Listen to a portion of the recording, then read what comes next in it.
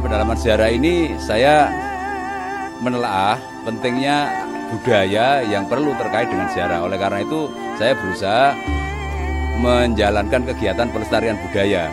Nah, budaya itu ada yang di satu sisi eh, untuk secara fisik, ada juga budaya itu yang non fisik, yang spiritual. Nah, budaya spiritual inilah yang saya lihat dijalankan oleh para pemeluk Buddha Jawi Wisnu.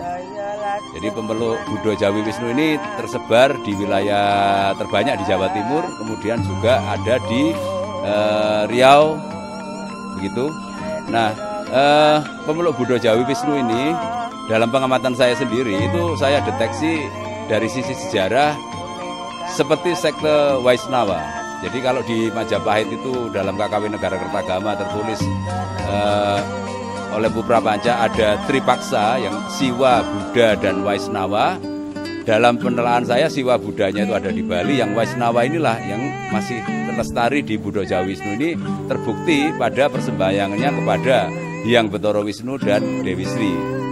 Nah, ini ada semacam acara juga atau e, pelestarian budaya dari segi non fisik yang terkait dengan hari raya saya amati di semua hari raya ada hari raya galungan yang biasa dilaksanakan oleh orang Bali. Hari raya galungan itu dilaksanakan pada wuku galungan. Wuku adalah kalender yang hanya ada di Sunda, Jawa, dan Bali. Oleh karena itu hari raya galungan menurut saya itu adalah hari raya yang khas asli Nusantara. Nah, pada saat hari raya galungan di Bali itu wuku di Bali namanya wuku dungulan. Jadi di Bali pada saat wuku dungulan dirayakan hari raya galungan. Sedangkan di Jawa perayaan galungan itu atau wuku dungulan di Bali itu di Jawa namanya wuku galungan.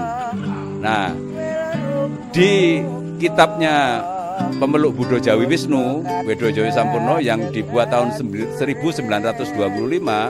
tercantum adanya perayaan galungan.